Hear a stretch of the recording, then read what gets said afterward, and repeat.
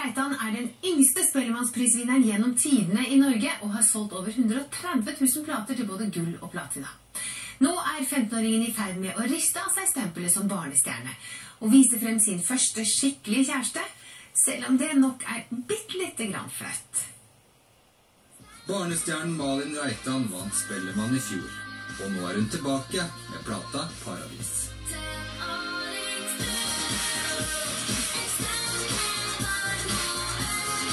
Og siden sist har Malin gått fra å være barn til å bli ungdom med kjæreste. Jo, det er kjæresten min, da.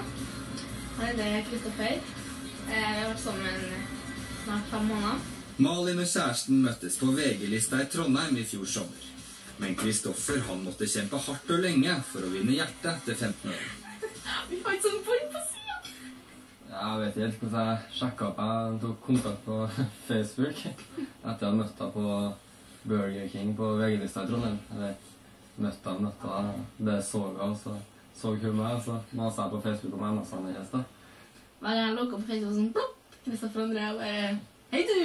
og sånn oh, gud, da har jeg masa. Jeg orker ikke snakke med henne nå, ikke sant? Ja. Hvorfor syns det er søtt, da? Hvorfor jeg syns det er søtt? Ja.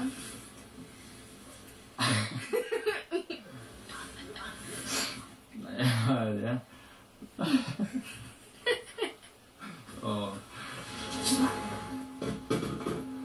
er dette?